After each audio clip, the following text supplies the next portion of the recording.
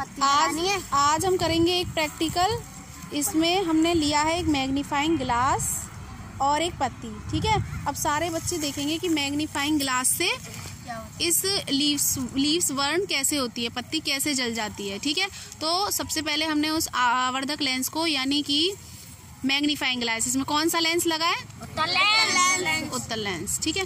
अभी सब ध्यान से देखेंगे कि हमने सूर्य की किरणों को सूर्य की किरणें पड़ रही हैं। अब ये मैग्नीफाइंग ग्लास से होकर इस पत्ती पे जा रही हैं। ठीक है थोड़ी देर इसको फोकस करते हैं देखते हैं क्या होता है।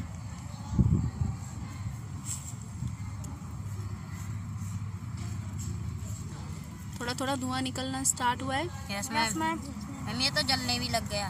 हम्म। अब देखो पत्ती जलने जल रही है। तो क्यों जल रही है? सूर्य के प्रकाश से है?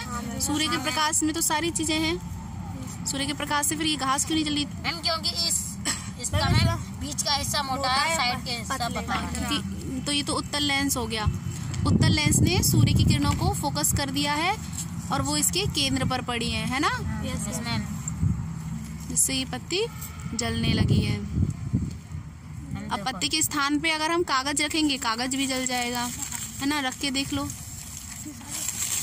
अगर हम पत्ती के स्थान पे क्या लेते हैं? कागज़। तो वो भी जलने लगता है। देखो हमने पत्ती की जगह क्या लिया है? एक कागज़ लिया है। और इसको हम देख रहे हैं। इस पर हमने फोकस करा है। तो देखें क्या होता है। देखिए वो भी बर्न करने लगा है। हाँ। ये जादू है साइंस का प्रकाश का।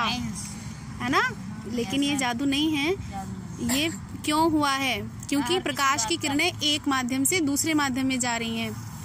ठीक है? अपवर्तन हो रहा है रिफ्रैक्शन हो। रहा है। और क्या?